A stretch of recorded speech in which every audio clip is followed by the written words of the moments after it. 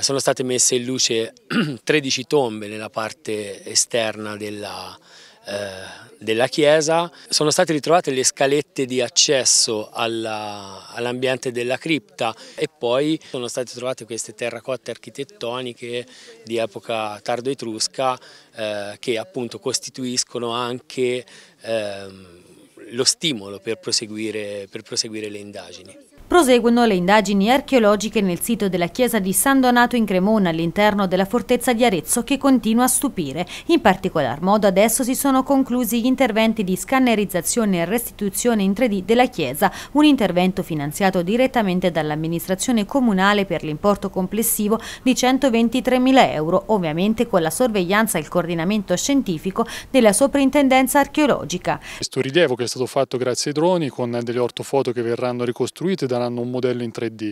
Questo servirà per catalogare e censire i lavori fatti fino ad oggi. Poi nel prossimo futuro vediamo in seguito alla, alla catalogazione di tutti i reperti che sono stati trovati, agli studi che farà la sovrintendenza, se e come andare avanti. Abbiamo partecipato per, con il drone per fare l'acquisizione fotogrammetrica che servirà poi eh, a essere unita al modello che hanno fatto con laser scanner e quindi produrre ortofoto e modello 3D. Ed adesso si procede con la messa in sicurezza degli scavi. Con eh, del materiale idoneo, ovvero con del tessuto non tessuto, eh, fissato poi adeguatamente eh, con del materiale lapideo e poi ricoperto con della sabbia, ma che possa poi essere rimosso con facilità, quindi preservare ma essere rimosso con facilità successivamente per eventuali interventi successivi nel tempo.